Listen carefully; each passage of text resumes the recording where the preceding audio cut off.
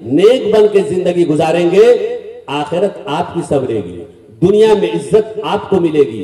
क्योंकि ये तो मुमकिन ही नहीं है कि जिसकी इज़्ज़त का ऐलान अल्लाह करे, उसे दुनिया वाला जलील कर दे। अल्लाह कहता है वलील्लाह इज़्ज़त वाले रसूल ही मोमिनीन। इज़्ज़त अल्लाह के लिए, इज़्ज़त उसके रसूल के लिए और इज़्ज़त मोमिन के लिए। मेरे प्यारे भाइयों और दोस्तों, सोचे और गौर करें, हम मोमिन हैं। हम नबी के गुलाम हैं और फिर हम जलील किए जाएँ, हम रुसवा किए जाएँ, ये नहीं हो सकता। अगर रुसवा किए जा रहे हैं तो फिर हमें अपने ईमान का जायजा लेना होगा। अगर हम जलील किए जा रहे हैं तो हमें अपने ईमान का जायजा लेना होगा। तो आज सबसे ज़्यादा ज़रूरत इस बात की है कि हम अपने अमल की इसलाह करें।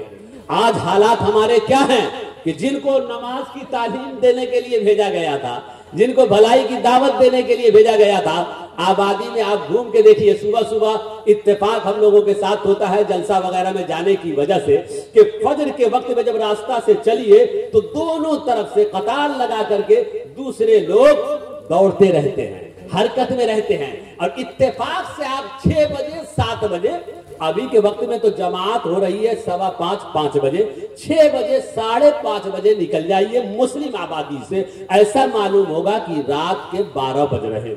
रात के बारह बज रहे हो। यानी जिस कौम को फजर में उठना था, वो कौम दस बजे उठ रही है। जिस कौम को सुबह उठना था, नमाज़ पढ़ना था, अल्लाह ताला ने ये पाँच वक्त की नमाजें जो रखी हैं जहाँ उस पाँच वक्त की नमाज़ से इबादत होती है, वहीं पर उस पाँच वक्त की नमाज़ की पाबंदी करने की वजह से इंसान वक्त का पाबंद हो जाता है। और याद रखिएगा, जिसने वक्त की पाबंदी नहीं की वो दुनिया में कुछ ना कर सका। और दुनिया तो दुनिया, आखिरत में भी उसके लिए कुछ नहीं है। क्योंकि इसी वक्त के साथ जो काम करेगा, वक्त की पाबंदी करते हुए जो पाँचों वक्त की नमाज़ पढ़ेगा, वक्त की पाबंदी करते हुए बच्चे कॉन्वेंट जाएँगे, वक्त की पाबंदी करते हुए बच्चे कॉलेज जाएँगे, वक्त की पाबंदी करते हुए काम करने वाले ऑफ़िस जाएँगे, हर जगह उनकी इज़्ज़त होगी, हर जगह उनकी कदर होगी। और जिसने वक्त की नाकदरी की वो अफसोस तो करेगा ही और उसकी इज़्ज़त नहीं होने वाली।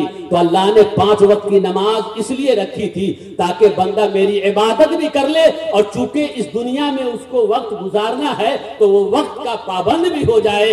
इसका वक्त जाय ना हो ताकि दुनिया में इसके का, इसका कोई नुकसान ना होने पाए।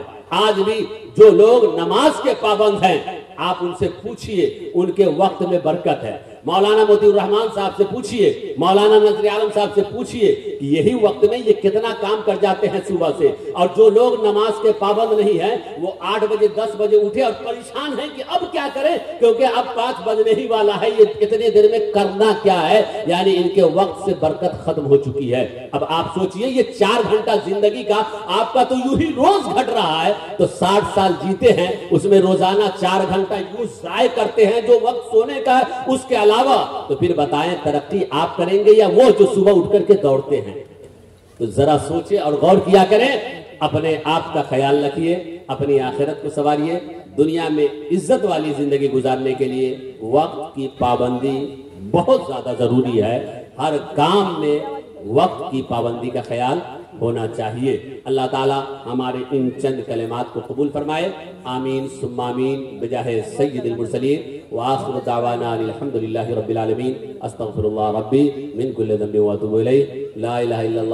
मुहम्मद रसूलुल्लाह सल्लल्लाहु तआला अलैहि व आला आलिहि वसल्लम अस्सलामु अलैकुम व रहमतुल्लाहि तआला व बरकातहू।